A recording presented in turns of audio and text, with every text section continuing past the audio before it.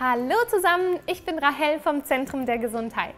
Heute möchte ich mit euch über Chlorophyll sprechen, den grünen Farbstoff in Pflanzen. Vielleicht habt ihr auf anderen Kanälen bereits die zahllosen Videos zu Chlorophyll und seinen erstaunlichen Wirkungen gesehen. Anhand der wissenschaftlichen Literatur zeige ich euch, wie Chlorophyll tatsächlich wirkt und wie ihr es am besten zu euch nehmen könnt. Also los geht's!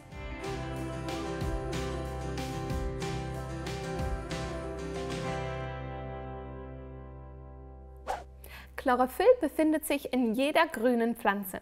Und da grüne Pflanzen für unsere Vorfahren in der Urzeit ein wichtiges Grundnahrungsmittel waren, ist schon allein das ein Hinweis darauf, wie wichtig der Pflanzenstoff für uns Menschen sein muss.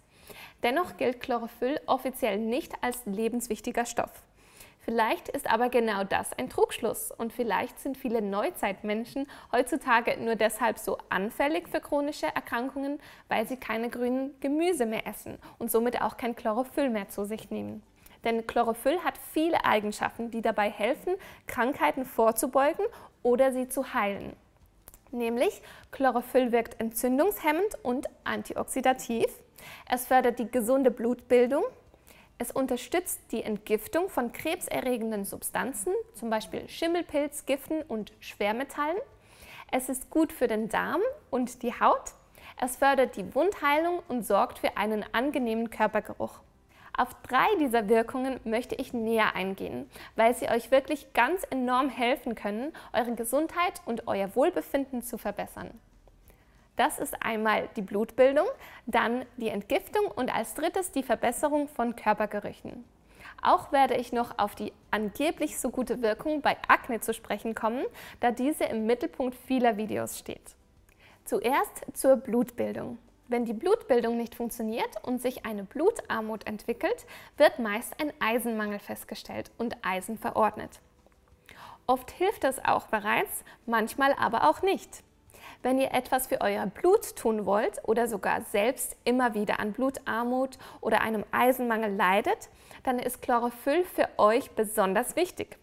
Denn Chlorophyll hat eine enorme Ähnlichkeit mit dem roten Farbstoff in unserem Blut, dem Hämoglobin. Beide Moleküle sind ringförmig und unterscheiden sich nur darin, dass Chlorophyll in der Mitte des Rings ein Magnesiumatom hat und Hämoglobin ein Eisenatom. Chlorophyll enthält selbst also kein Eisen. Dennoch kann es sehr gut die Blutbildung fördern und sogar den Ferritinspiegel steigen lassen, wie eine Mäusestudie aus 2016 zeigte.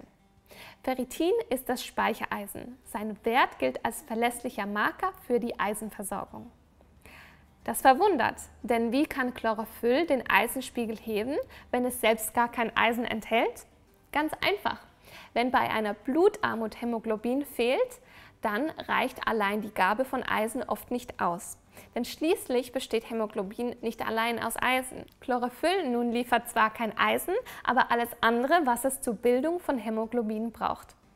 Denn abgesehen von Eisen ist das Chlorophyll ja mit dem Hämoglobin nahezu identisch. Bei Blutarmut sollte daher eigentlich nicht nur Eisen eingenommen werden, sondern immer auch Chlorophyll. Kommen wir zur Entgiftung. Bei der Entgiftung ist das Chlorophyll ganz ähnlich kompetent. So kann es beispielsweise Schimmelpilzgifte, die sogenannten Aflatoxine, binden und ausleiten. Aflatoxine sind stark giftig für die Leber und gelten als krebserregend. Indem Chlorophyll nun die Aflatoxine bindet, verhindert es indirekt die Krebsentstehung. In einer Studie der John Hopkins University in Baltimore erhielten 180 Personen vier Monate lang täglich 100 Milligramm Chlorophyll. Es zeigte sich, dass die Einnahme von Chlorophyllin die Aflatoxinbelastung um 55 Prozent reduzieren konnte. Die Wissenschaftler schrieben somit in ihrer Schlussfolgerung, die prophylaktische Einnahme von Chlorophyllin oder auch der verstärkte Verzehr von chlorophyllreichen Lebensmitteln zu den Mahlzeiten scheint ein praktikables Mittel zu sein, um Leberkrebs oder anderen umweltbedingten Krebsformen vorzubeugen. Und koreanische Forscher konnten im Jahr 2013 zeigen, dass Chlorophyll die Zellen auch vor Schwermetallen schützt, weil es diese einfach bindet und damit unschädlich macht. In dieser Studie stellte man auch fest, dass Lycopin die entgiftende Wirkung von Chlorophyll unterstützen kann. Lycopin ist der bekannte Pflanzenstoff aus Tomaten, der aber auch reichlich genau dort vorkommt, wo auch viel Chlorophyll enthalten ist, in grünem Blattgemüse. Dennoch könnt ihr natürlich immer auch Tomaten oder auch das besonders lycopinreiche Tomatenmark mit chlorophyllreichem Gemüse kombinieren. Bei uns findet ihr dazu zum Beispiel ein Spinatgemüse mit Tomaten und Räuchertofu Natürlich könnt ihr beides auch im Salat mischen, so wie in unserem Spargelsalat, der zusätzlich noch grünen Spargel enthält und mit einem sehr leckeren, aber total einfachen Dressing angemacht wird. Beide Rezepte verlinken wir natürlich unten in der Infobox. Chlorophyll bildet übrigens nicht nur mit Aflatoxinen und Schwermetallenkomplexe, sondern mit vielen weiteren gesundheitsschädlichen und krebserregenden Giftstoffen, zum Beispiel Giften aus Zigarettenrauch, mit Dioxinen oder auch mit heterozyklischen aromatischen Aminen, die beim Braten und Grillen von Fleisch und Fisch entstehen. Chlorophyll kann also die Gefährlichkeit dieser Stoffe reduzieren, wenn es gleichzeitig mit den entsprechenden Lebensmitteln eingenommen wird.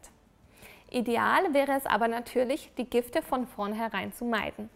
Die dritte und letzte Wirkung des Chlorophylls, die ich euch vorstellen möchte, ist die Absorption von schlechten Körpergerüchen. In Asien gilt das Chlorophyll wegen dieser Eigenschaft sogar als Deo von innen. Besonders bekannt sind Chlorophyll-Dragees gegen Mundgeruch.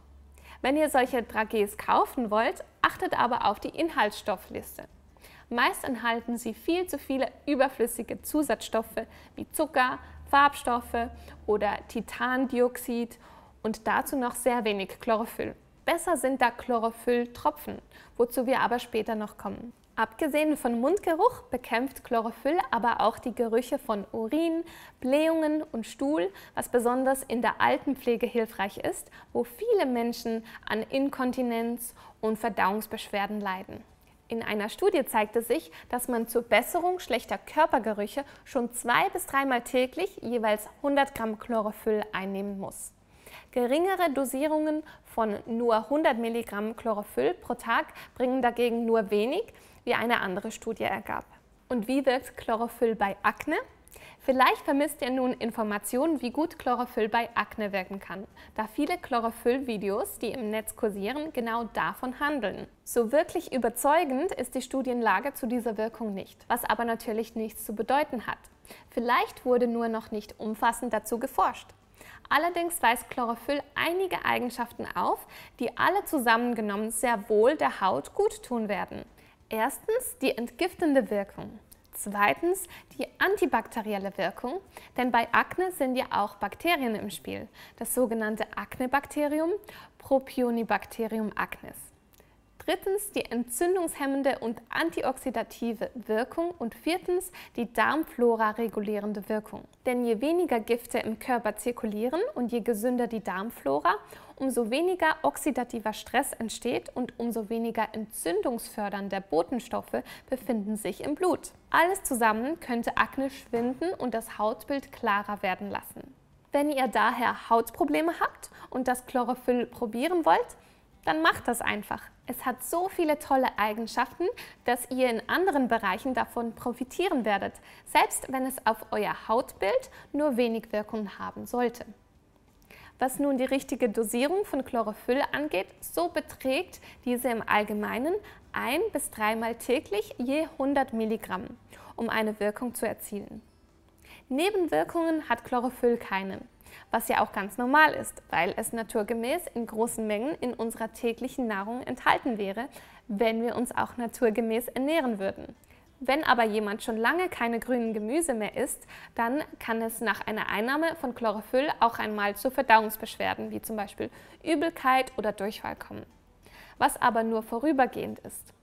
Da Chlorophyll ein Farbstoff ist, färbt es auch den Stuhl grün oder dunkel, was aber kein Grund zur Sorge ist. Und wie steht es mit der Bioverfügbarkeit von Chlorophyll? Ab und an wird behauptet, Chlorophyll könnte gar nicht wirken, da seine Bioverfügbarkeit so schlecht sei. Es könnte aus dem Darm gar nicht ins Blut gelangen.